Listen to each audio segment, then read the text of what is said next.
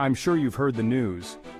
The Antarctic is freezing, but some fish there are living it up like it's a summer pool party. Imagine living where temperatures plunge below freezing, yet you're still swimming around like it's a summer day. Welcome to the world of Antarctic fish. In these frigid waters where most creatures would turn into ice pops, Antarctic fish have evolved something extraordinary, antifreeze proteins. These proteins work like tiny miracle workers in the fish's bloodstream. They latch onto ice crystals that start to form, stopping them from growing larger. This prevents the fish's blood and tissues from freezing, letting them thrive in an environment that would be lethal to most other animals. It's like having a built-in survival kit. These fish swim freely, hunt for food and live their lives in a world that would freeze most other animals solid. Next time you feel the chill of winter, remember the Antarctic fish and their incredible antifreeze proteins. Nature's ingenuity knows no bounds, and these fish are a perfect